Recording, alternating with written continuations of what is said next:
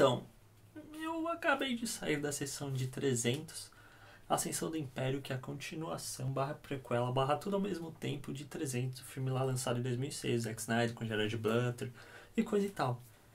E bom, é um filme muito ruim, cara, é um filme que não tem necessidade de existir, é um filme que meio que lançaram para falar, oh, vamos ganhar dinheiro, mas a gente vai aumentar a história, a gente vai aumentar todo o escopo, vai ser uma coisa grandiosa, vai ser uma coisa incrível. E simplesmente não é. Tipo, pra que um novo 300? Primeiro, meio que se fecha em si mesmo. Você não tem necessidade de saber o que vai acontecer pra frente, o que vai acontecer pra trás.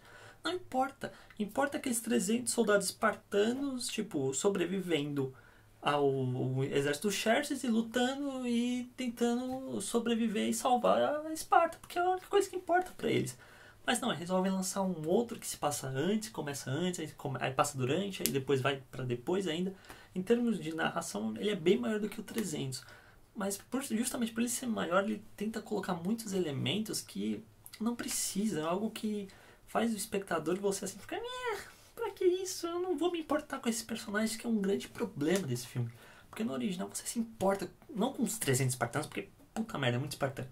Mas a maioria dos personagens que ganha destaque, você acaba se importando com eles. Por mais que você saiba qual vai ser o destino deles.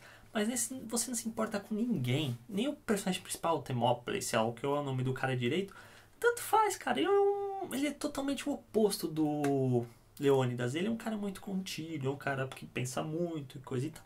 E fica um cara boring. Você, tanto faz o que acontecer com ele como tanto fez. Se eu pudesse definir esse filme do 300, agora, a Ascensão do Império, seria um 300 sem inspiração. Porque o diretor meio que emula praticamente tudo que tinha no original, que agrada todo mundo até hoje. As batalhas no original meio que tem. Como é que eu posso falar?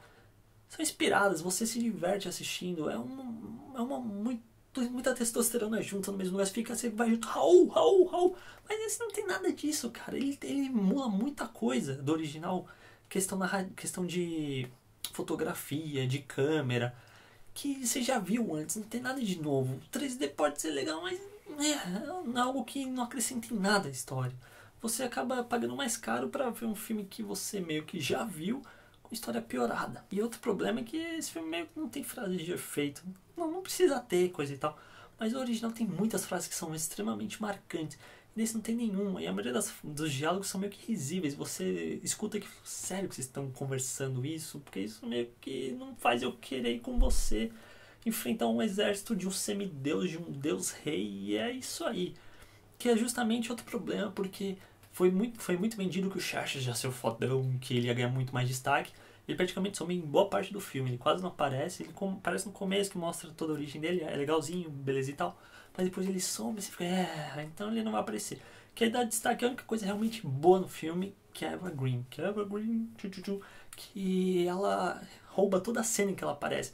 Você quando tá com o Temópolis lá e os atenianos e os caras querem salvar a Grécia e tal. É. Aí quando surge essa, opa, uma cena legal pelo menos, porque a única coisa que realmente salva no filme é ela. As batalhas no mar são outro problema porque não são empolgantes. Não tem tantas assim, e quando tem é tanto sangue, é sangue pra lá, sangue pra cá, sangue pra cá, que você fica, é, mas. É, que dá até sono, realmente dá sono o filme. É um filme entediante.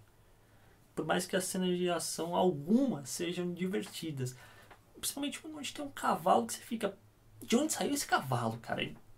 De onde saiu esse cavalo? E isso sou eu falando. Por favor, não leve criança para ver esse filme, cara. É um filme de 16 anos. Eu fui numa sessão das 10 e meia da noite e na poltrona de trás de mim tinha uma criança, eu acho que de uns 7, 6, 7 anos, que não parava de falar o filme todo. E é um filme violento, tem muito sangue, tem, cena de, tem uma cena de sexo. Aí durante as cenas violentas a criança fala: nossa, mãe, que real, isso é água? Mano, qual a mentalidade de um pai para levar um filho de 7 anos para ver um filme de 16?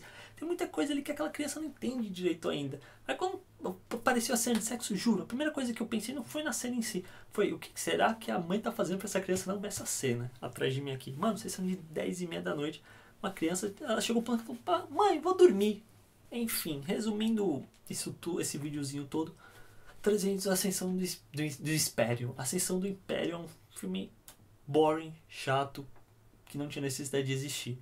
E o pior é que ele deixa a continuação para um possível 303.